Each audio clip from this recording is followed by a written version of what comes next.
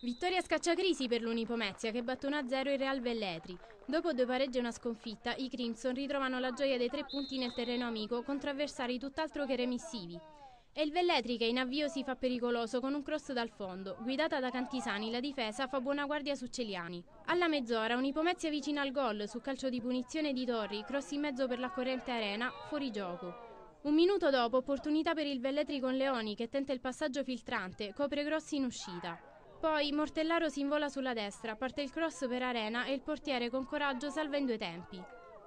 Il Velletri ci prova pressando alto la difesa, ma è ancora l'Unipomezia ad andare vicino al gol. Su calcio di punizione, spizzata di testa e palla per Neri.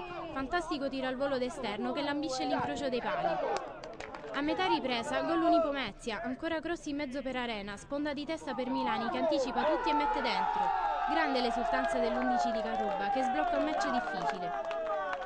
Nel finale, padroni di casa vicino al raddoppio, Arena scappa sulla sinistra, cross al centro e Neri anticipato al momento della conclusione. Ma basta così, si sbloccano gli universitari, vittoria importante per rilanciarsi in classifica.